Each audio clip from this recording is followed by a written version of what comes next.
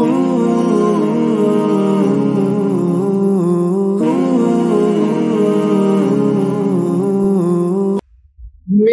অনেক বয়স হয়ে গেছে। কি আমল করলে বিয়ে হবে? প্রিয় ভাই, প্রথম কথা, মেয়ের অনেক বয়স হয়ে গিয়েছে।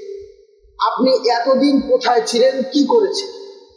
এতদিন পর্যন্ত কেন আপনি মেয়ের বিয়ে নিয়ে কোনো কথা বলেননি?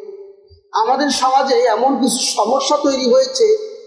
আমরা অনেক পিতামাতা রয়েছি যারা সন্তানকে এস্টাবলিশ করব, এরপরে বিয়ে দিই তুমি আগে প্রতিষ্ঠিত হবে, তারপরে বিয়ে দিবে।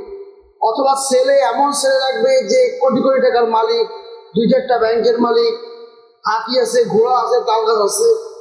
এরকম ছেলে না হলে বিয়ে দিব না। এই ধরনের কিছু টেন্ডেন্সি পিতা মাতার মধ্যে তৈরি হওয়ার কারণে আমাদের সমাজে প্রথমত অধিকাংশ ক্ষেত্রে মেয়েদের যাদের বিয়ে দেখতে হয়, কয়েকটি কারণ রয়েছে। প্রথম কারণ, পিতামাতার এই হাই অ্যাম্বিশন দ্বিতীয় কারণ, মেয়ের হাই অ্যাম্বিশন কি হয়েছে? আমি লেখাপড়া করব, আমি বিসিএস কেন হব এই হব, সেই হব।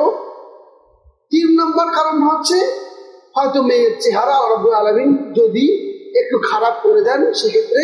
আর চার নম্বর কারণ হচ্ছে রুকিয়ার সমস্যা যেটা, সেটা।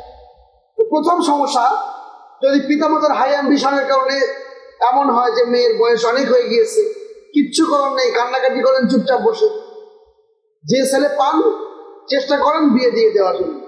দ্বিতীয়ত, যদি মেয়ের হাই অ্যাম্বিশনের কারণে হয়, একই কথা পিতা মাতার মতোই চেষ্টা করেন।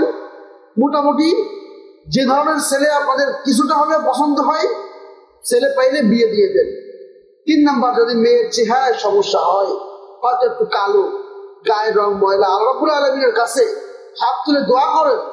শেষতে উঠে পিতামাতা তাহাজুদ পড়ে আল্লাহ রাবুল আলমিনের কাছে দোয়া করেন, হায় রাবুল আলমিন, আমার এই সন্তানটিকে বিয়ে দেওয়ার ব্যবস্থা করে দাও। ইনশাআল্লাহ আল্লাহ আলমিন কোনো না কোনো ব্যবস্থা করে দিবেন।